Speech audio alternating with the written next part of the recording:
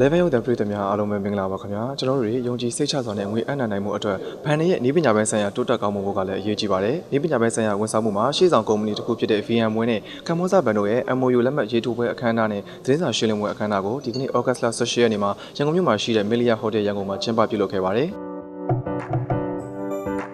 Good morning, His Excellency. This is Go. ဒီလမ်းမရေးထိုးပွဲအခမ်းအနားအရ VMware ရဲ့ software အသုံးချ data center နည်းပညာကိုအသုံးပြုပြီး ကမ္ဘောဇဘဏ်ရဲ့ဘဏ်လုပ်ငန်းစနစ်ဟာပုံမှုမြန်ဆန်ပြီးလုံခြုံစိတ်ချမှုကိုပေးစွမ်းနိုင်မှာဖြစ်ပါတယ် I'm a diplomat. ။ခိုင်မာတဲ့စနစ်တွေနဲ့ဖွဲ့စည်းထားတာကြောင့်လည်းချိတ်ဆက်ထားတဲ့ငွေထုတ်ဆက်နဲ့လိုင်းခွဲဆက်တွေကိုကောင်းမွန်စွာအလုပ်လုပ်စေနိုင်မယ့်အပြင်အသုံးပြုမှုအလွန်မြင့်တက်လာချိန်မှာလည်းဘဏ်ရဲ့စွမ်းဆောင်ရည်ကိုပုံမှုမြန်ဆန်အောင်မြင့်တင်ပေးနိုင်မှာဖြစ်ပါတယ်။ VMware ရဲ့နည်းပညာစနစ်ကိုအသုံးပြုပြီးကမ္ဘောဇဘဏ်ရဲ့ဘဏ်လုပ်ငန်းစနစ်ဟာဘယ်လိုတိုးတက်ပြောင်းလဲလာမလဲဆိုတာကို VMware ရဲ့ Vice President Dagan Hewitt ကလည်းအခုလိုပဲပြောကြားခဲ့ပါတယ်။ Um, the advantage you can see is uh, will help KBZ be able to innovate much faster. If you look at the traditional environments, you had individual systems,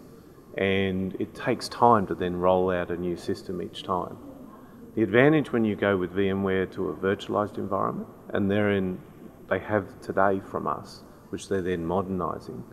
is it enables you to change that process from months into hours. So you can roll out new innovations much, much faster and many more of them. uh, advantage ကကြတော့ကျွန်တော်တို့ရဲ့ခုန solution uh, VMware solution က KVZ ရဲ့ဒီ innovation ပေါ့နော်အဲ့ဒီအသစ်အသစ်တွေ service အသစ်တွေကိုပေးဖို့ဟာကိုအရင်ကတည်းကပို့ပြီးတော့မြန်မြန်ဆန်ဆန်လုပ်နိုင်အောင်ပေါ့အရင်ကတစ်လလောက်ကြာတဲ့ဟာကိုအခုကနိုင်ပိုင်းအတွင်းကို service တွေဝန်ဆောင်မှုတွေကိုမြန်မြန်ဆန်ဆန်ပေးနိုင်အောင်အဲ့ဒါကိုအဓိကထားပြီးတော့လုပ်ပေးမှာဖြစ်ပါတယ်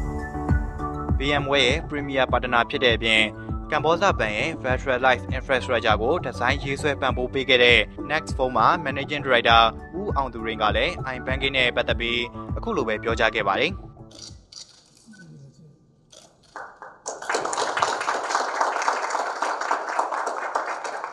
KBZ ဘဏ်ရဲ့နောက်ထပ်ဒီဟိုပါပေါ့ဒီနေ့တော့ VMware နဲ့ Enterprise Agreement ဆိုတဲ့ဒီ partnership agreement တခုသူတို့ယူလိုက်တယ်ပေါ့နော်အဲနောက်ပိုင်းမှာလည်းဒီ KBZ ဘဏ်အနေနဲ့သူတို့ရဲ့ IT infrastructure တွေဒီ application တွေ banking service တွေကိုအများကြီးတိုးချဲ့ဖို့အစီအစဉ်ရှိမယ်လို့ထင်ပါတယ်ဒီနောက်ပိုင်းမှာ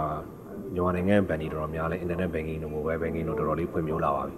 အဲ internet banking mobile banking ဖွံ့ဖြိုးလာတဲ့အတွက်တယောက်နဲ့တယောက်ငွေပေးငွေယူတွေက internet ကနေတစ်ဆင့်အဲလောက်တာတို့ နောက်တစ်ခါဒီပစ္စည်းဝယ်လို့ရှရင်လည်းဥပမာ Facebook မှာပစ္စည်းတစ်ခုဝယ်လို့ရှရင် bank account တောင်းပြီး bank account လမ်းပြီးအောင်ပေးလွှဲလိုက်တာတော့အဲ့လိုမျိုး practice မျိုးလေးတွေအများကြီးလုပ်လာလို့ရပါတယ်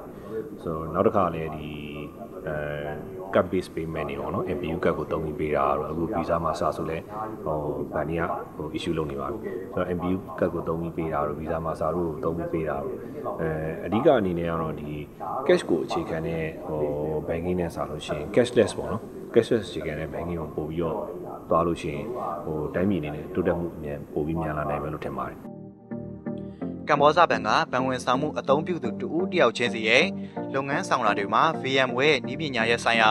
လုံခြုံရေးစည်းမျဉ်းစည်းကမ်းတွေထားရှိထားပြီးဘဏ်ရဲ့အချက်အလက်နဲ့ဝန်ဆောင်မှုလုပ်ငန်းတွေရဲ့လုံခြုံရေးကိုထပ်မံတိုးမြင့်ဆောင်ရွက်ပေးထားတယ်လို့လည်းသိရပါတယ်။